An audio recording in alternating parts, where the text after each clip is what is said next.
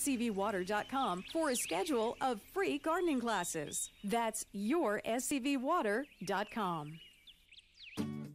Comfort Keepers provides your loved one with loving in home care. Miles McNamara, certified senior advisor and owner of Comfort Keepers in home care. Our caregivers can help you in your own home, enhancing independence, creating safety and comfort. Our Comfort Keepers provide companionship, meal preparation, medication reminders, assistance with personal care, and even transportation to doctor's appointments. If someone you love can use a helping hand at home, visit comfortkeepers.com.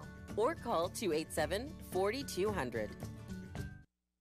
It is 10:05 on this Tuesday, March 26th, and today is a very special day because we are honoring the SCV Man and Woman of the Year nominees 2019 and we are getting to talk to each and every one of them this morning into this afternoon and today right now it is uh, Taylor Kellstrom who is the nominee and the nominator is Pam Rippling from I believe Circle of Hope am I am I correct? Yep. Okay. Uh, Taylor, question. How long have you been here in the Valley? I've actually lived in the Valley my entire life, all 29 years. I've been born and raised here. And why were you nominated? I'm actually going to let Pam answer that one. Pam, you're on. Very simple answer. Most qualified, most dedicated, most deserving guy we know. He's just his his accomplishments just precede him in reputation, and he's done so much for the Santa Clarita Valley. How does He's that really- How does that make you feel, Taylor? I mean, those were some serious. Uh, you know, she did not even have to hesitate uh, in answering that question. How does that make you feel?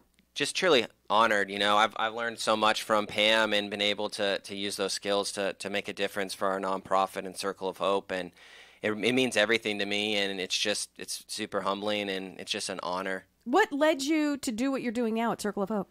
Um, long story short, when I was eight years old, my uncle had passed away from colon cancer. So I, I know firsthand how cancer affects um, someone's family. And I really just loved the work that they were doing. And to get involved with it is really what, what drove me to, to do that. And the passion, the passion for the mission, because cancer affects everybody friends, family, coworkers. And for us to be able to make a difference right here in this valley for people going through such tough times is really what drove me to get involved. That's why it's so near and dear to your heart. Absolutely. Uh, if you were to, if someone wanted to get involved in, uh, and you're involved in a lot uh, of organizations in the Santa Clarita Valley, this is one of three nominations for you. So we'll be speaking to you a little bit later about uh, your other service in the SCV. But this one in particular, if someone were considering joining a nonprofit or this nonprofit uh, uh, in particular, what would you say to them? I would tell them to, to go for what they're passionate about. Um, you don't have to know everything because once you get involved with a nonprofit, you you and other board members or supporters all have the same mission and the same goal, and that's really what's going to drive you guys together to achieve what you want to do as far as inside that nonprofit. And you'll be able to learn from people that that are you know ahead of you, behind you, and things like that. And just go with what you're passionate about because the rest will take care of itself. The passion will will definitely push you and, and the other people to work together and to make a difference. Pam, you seemed very sure of yourself when when we asked you the question about why was he nominated. Was it a slam dunk?